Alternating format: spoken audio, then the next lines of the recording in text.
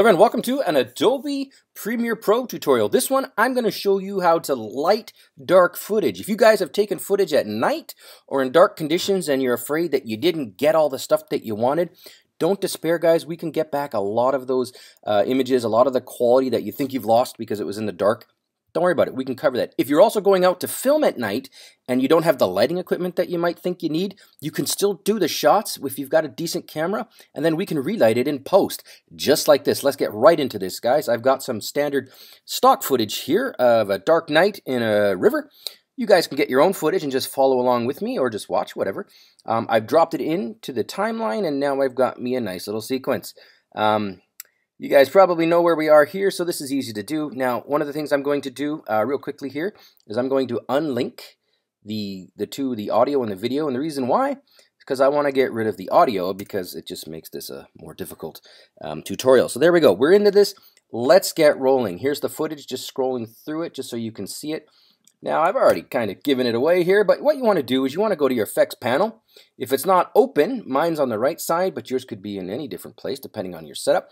You can always go down to Window, Effects, make sure the effect check mark is there, and also make for make sure the effect controls check marks there too. But anyways, let's go right into effects. Now I'm going to type in lighting, and it's going to say lighting effects. Drag and drop this onto your footage, whatever it is, and then boom, you're going to see that we've got what looks like a sort of weird flashlighty spotlight uh, image or, or, lighting, and that is not what we want. So there is a way to change that. It's real simple, but not everybody knows how to do this. So here we go. Go to your effect control panel here, click on lighting effects like this. Now you want to go to light one, drop her down, you see the triangle, click it, and now here's the trick. Go from spotlight to directional. Look at that. One button, one change, boom. Let's go and look at what we had at the beginning. I'm just going to twirl it up. Here's the original footage. Here's the relit footage. For a lot of people, that's all you need. You don't need to do anything else. That is really, really good, and it works like 80 to 90% of the time. Now, I'm going to show you guys some more advanced techniques. If you guys are happy and that's all you needed to see, yeah, feel free to click off and give me a thumbs up or whatever, call me names, whatever you want to do.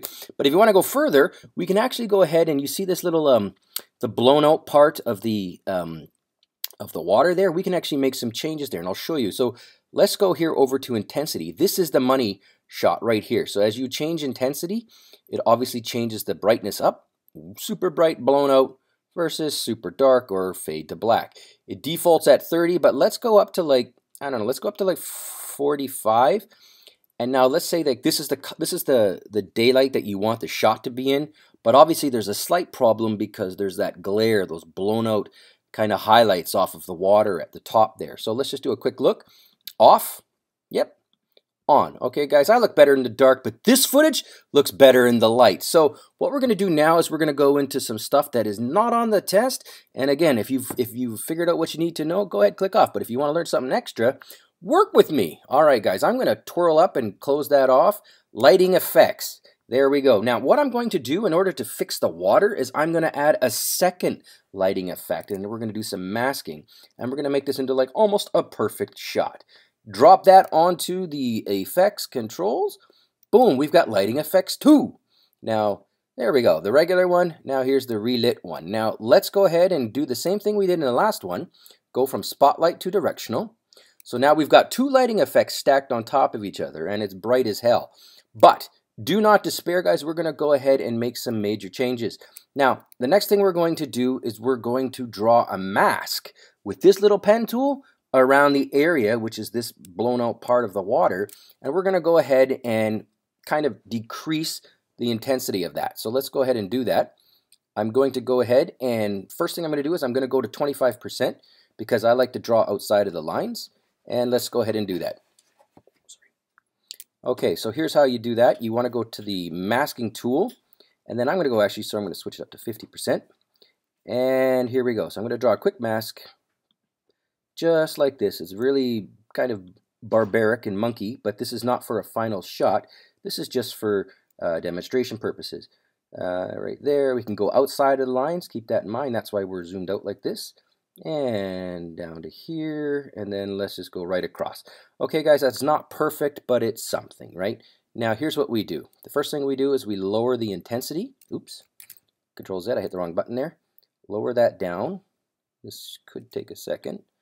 Okay, now I'm not going to the radius. I hit the wrong button. Hang on, guys. Command Z, I'm going to the intensity button. Let's reduce it. Now, because we've got so much stuff going on here, it's kind of slow going, but we're reducing the intensity down to about 9. Okay, that's not perfect, but it's a bit better. Uh, again, you're going to see the hard lines. That's not what we want. So the second thing we have to do is we have to mask this. Um, I'm going to move down here, and we're going to go up, pardon me, and then we're going to do a mask feather. Now here's where you want to jack this up pretty high. Okay, let's go higher, higher, higher. Okay guys, now the mask feather is very, very high. We can also expand the mask a little bit so that it kind of goes outside of the lines a little. Okay, that's a bit too much.